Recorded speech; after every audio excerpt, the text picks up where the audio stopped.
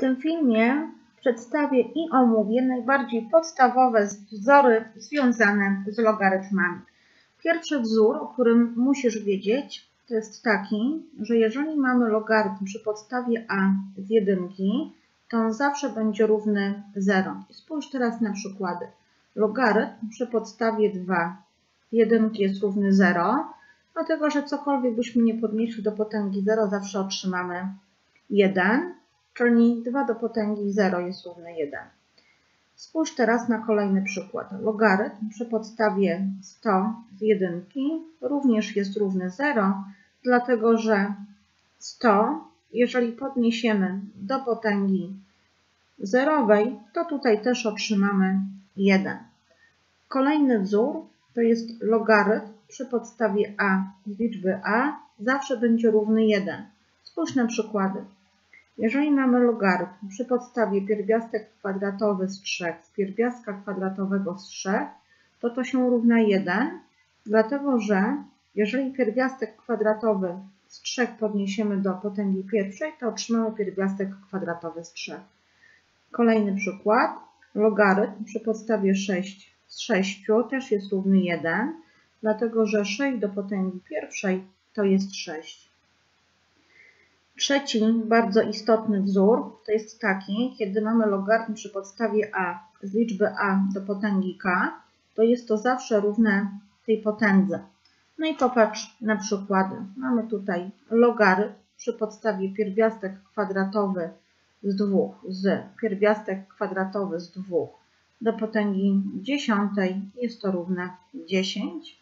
No i kolejny przykład, logarytm przy podstawie 15 z 15 do potęgi drugiej jest to równe 2.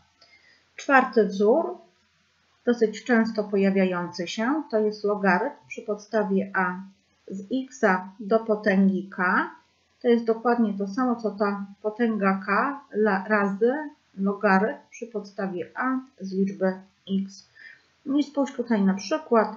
Mamy 6 logarytmów przy podstawie 3 z 2 to się równa logarytm przy podstawie 3 z 2 do potęgi szóstej, czyli to jest dokładnie to samo, co logarytm przy podstawie 3 z 64. Popatrz jeszcze na jeden przykład. Mamy tutaj logarytm przy podstawie 2 z, 85, z 81.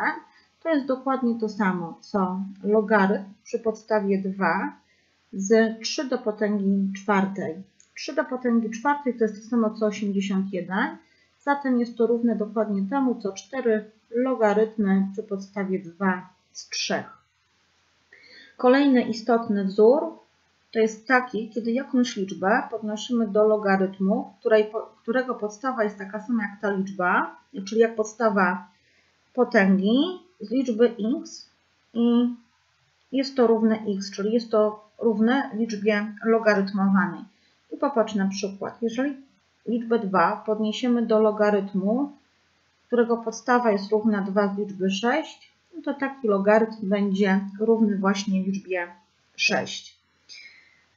I przedostatni wzór, który chciałam Ci pokazać, też który bardzo często będzie wykorzystywany. Mamy logarytm przy podstawie a z liczby x razy y i to jest równe logarytm przy podstawie a z liczby x plus logarytm przy podstawie a z liczby y. No i spójrz na przykład.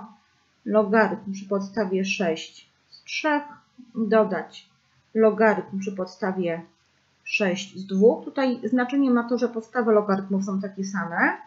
I to jest równe logarytm przy podstawie 6 z 3 razy 2. To się równa logarytm przy podstawie 6 z 6. I tu już możemy rozwiązać to wyrażenie ma wartość 1.